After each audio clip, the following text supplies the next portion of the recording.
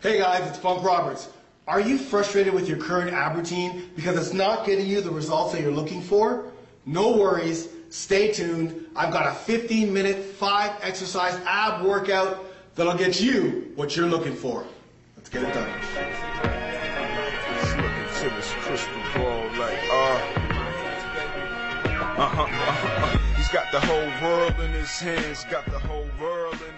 Hey guys, it's Funk Roberts from FunkRobertsFitness.com, and I received an email the other day from someone asking me what the best exercises they can do to get six-pack abs, and if I can put a workout together for them.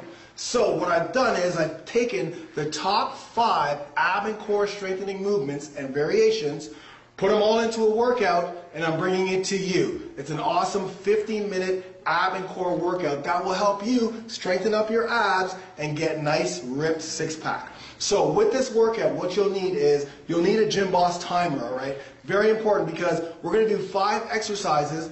Each exercise we're gonna do for 60 seconds of work, followed by a 10 second rest, and then move on to the next exercise. And we'll do all five exercises and then rest for two minutes and do that again. So what I've done is again, I've taken five exercises that are perfect for the abs and the entire ab and core region that'll help you strengthen it. But of course, without proper nutrition to get rid of all the fat, you'll never be able to see the six pack abs that this workout will help you build. All right? So, take a look at it, leave your comments, and check me out on the other side because I got some other stuff to tell you. All right?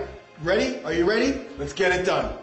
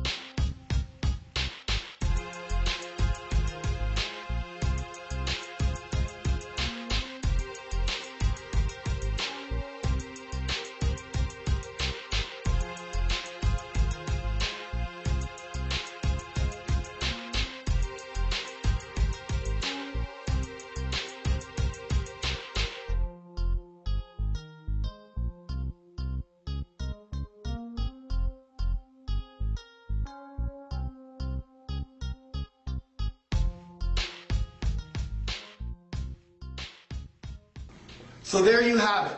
A hard but effective ab and core routine that you should be incorporating into your workouts either before, during, or after your training session.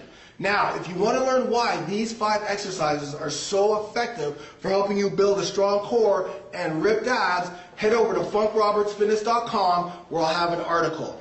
Make sure you subscribe to this channel because I always have new workouts and updates. Please leave your comments. If there's anything that I'm not giving you, let me know. But also, tell me how you felt after you tried this workout. And I hope you like this information. I hope you love this workout. And until next time, get it done.